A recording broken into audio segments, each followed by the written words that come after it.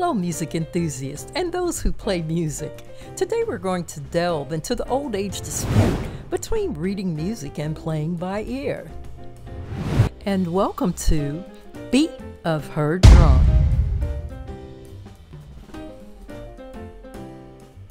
Now, we all have different learning experiences, and our stories and views will differ. But in the music world, we all have some of the same experiences. So I've done some research, and I've combined different perspectives with known facts.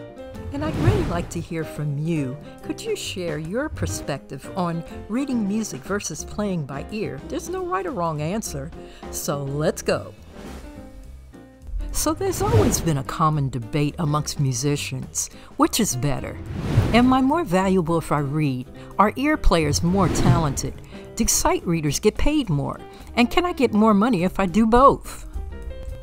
So, reading music is a practical skill that allows you to play new music that you've never seen or heard before. And written music allows music ideas to be written, translated, and interpreted by others. Now, some would argue that reading music is the cornerstone of musical literacy, even though playing by ear is undoubtedly a useful talent. With the use of notation, which offers a global language, musicians can convey complicated concepts with correctness, precision, and consistency. It gives the musician access to a wide range of material and improves their ability to faithfully interpret the intentions of the composers to a wide range of musical styles and permits performers to more accurately convey a composer's objectives.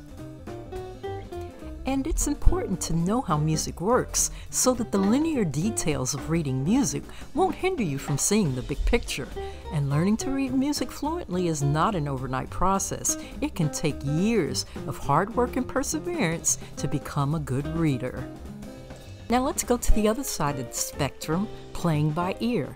And this is a skill that is perfected over time, but most are born with a natural gift that others just don't have. And I'm always amazed how the naturally talented can mimic whatever they hear. While I'm sure that all musicians respect the merits of reading music, playing by ear fosters creativity, being spontaneous, and a deep connection to the emotional essence of the music allows the musicians to express themselves freely, breaking away from the constraints of notation. Playing by ear enhances intuition, encourages improvisation, and it promotes a more profound understanding of the musical language by engaging with it on a visceral level. Some would debate a crucial point that reading music doesn't stifle creativity. In fact, it provides a structural framework that enhances musicians' ability to convey emotions with precision. The naturally talented must also develop their abilities, or their skills will be limited. Now, although structure is essential, it shouldn't come at the cost of just being spontaneous. Playing by ear allows musicians to adapt, respond, and infuse their unique interpretation through the music.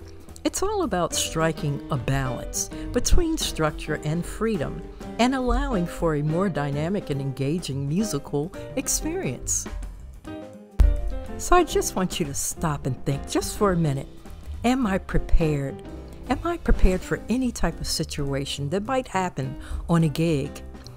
And am I prepared if someone gives me sheet music and asks, Can you sight read? You don't want any missed opportunities like I did because I didn't know how to read. In my opinion, both skills are needed because some jobs will require that you be able to sight read, like cruise ships and Broadway plays. Just important to be well rounded, and whether you're an advocate for reading music or just playing by ear, it's clear that both approaches contribute uniquely to the world of music.